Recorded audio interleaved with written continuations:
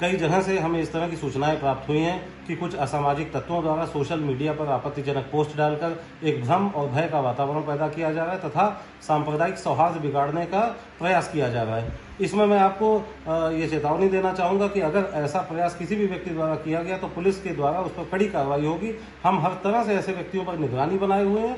इसी क्रम में कार्रवाई करते हुए हमने थाना सुनगढ़ी कोतवाली, बीसलपुर और जहानाबाद में मुकदमे भी दर्ज किए हैं और आगे भी पुलिस की कड़ी कार्रवाई चलती रहेगी। तो आप सभी से निवेदन है कि इस तरह के प्रयास करके जनपद पीलीभीत के सांप्रदायिक सौहार्द को बिगाड़ने का प्रयास न करें। किसी तरह के भ्रम और अफवाह की स्थिति न पैदा होने दें। आसपास की हर छोटी बड़ी खबर के लिए चैनल को सब्सक्राइब करें और बेल आइकन दबाना न भूलें।